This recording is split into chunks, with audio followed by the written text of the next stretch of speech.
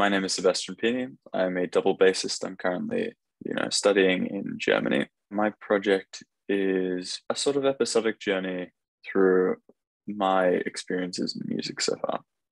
There are certain parts of my life and my experiences that are very difficult to express through words. It's forced me to try and think of other ways to express this and to try and use other mediums to do it, like like music and like film. And that's been really, really special. I would say that this is the first time writing for myself because the only other time was in the HSC. So this is the first time that I've done this outside of uh, an assignment setting, especially writing something about your own experiences and then just put it out there. And I didn't, I don't think I realized how terrifying that would be. It's given me so much more respect for composers in general. The Erste Verlust. The shots in that, along with the beautiful music from Steve Newton, um, with those, I have tried to convey this feeling of solemnness and loneliness almost that comes with a grief that no one else will understand because no one else can understand it. And it is this this uphill struggle to a point where we can look out and think back on the times that we had with this person and with the last installment yeah it is it is meant to feel chaotic and it is meant to feel nonsensical I have conveyed this feeling not just of being lost, but of it not seeming to make sense between which paths the character is taking or like jumping. This process of doubting yourself and your trajectory and what you're doing at all. I do think it's it's very present and I do think it's suppressed. Everyone is at a different place and everyone's going through different things. As I do think it's um, something that we all share, but something that isolates all of us individually as well. I definitely think that it's not something that's talked about enough, at least for me personally. Music and art in general is our way of expressing things. It could be our way of telling a story or expressing feelings in just a, a tiny instant in time or taking our entire life's experiences and trying to put it down into poetry or onto a canvas or onto manuscript paper. Specifically, in what I'm presenting in solos uh, with Fable Arts, I think it's a, it's, well, it's very much a personal insight into my own musical journey. And within that, I think it comes with the understanding that my musical journey isn't over yet. um, and it will continue and it never stops. And we learn from it every day. And in each scenario, we're in a new, different musical bubble. Um, and we're being influenced by new people. And because of that, I have left it reasonably open ended because it is a lifelong journey. It is definitely a journey that I'm continuing.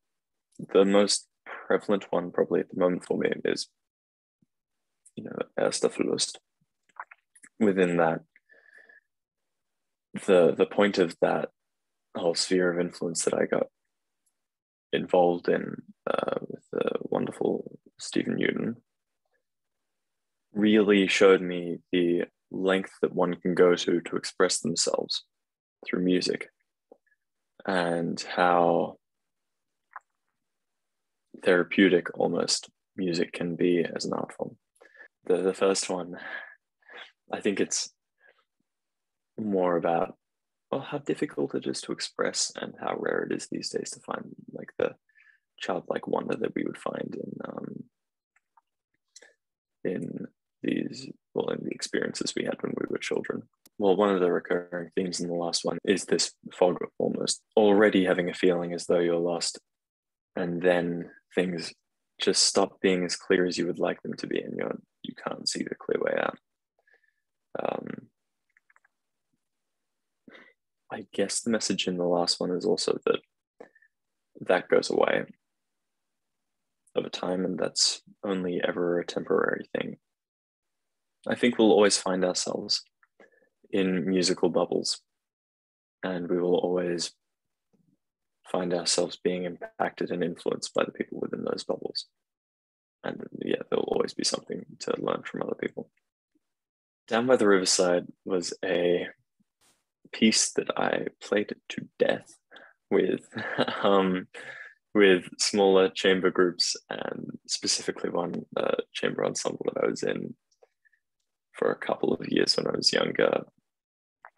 Uh, I mean, I say chamber ensemble. We played like movie music at shopping centers.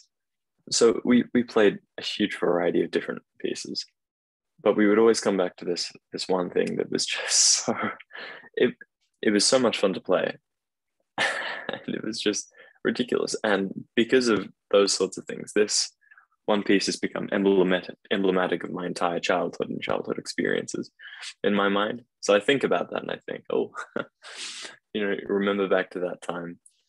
Uh,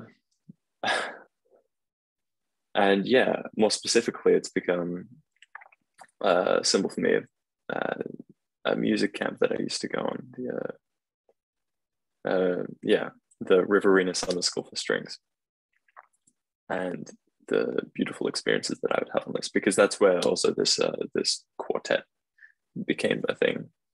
Um, and yeah, for me, it's just well, I mean, it's just a name that I've I've taken from another piece that's inspired me in some ways. But it's it's it's more than that because with that piece I connect basically my entire childhood and within that like my reason for being inspired to become a musician and to play music and all my childhood influences um, and yeah the spark of joy in life that i try to try to put into my music i think storytelling in music is something that quite often sadly falls to the wayside because we're also focused on technique. Well, I say we're also focused on technique. These days, it's less like that. Um, but there still is a focus on I have to play it with perfect technique, otherwise, no one cares what story I'm telling or how musical I'm being. What's the point of playing music if we're not expressing something? My my father, who was a brilliant storyteller and a brilliant musician, he you could always hear a story in his music it was really, really special. And I think that that's something that I'd like to be able to continue on with my music as well. Working with Fable Arts has been a very special experience, and it's allowed me, which is something you don't often find, to push myself as a musician, an artist, and a storyteller. And I think that's very, very special. So if you enjoyed this project, I would encourage you to donate to help uh, support Fable Arts in creating more wonderful projects like this and to support the artists in future like me. In any case, thank you very much for watching and I hope you enjoyed the show.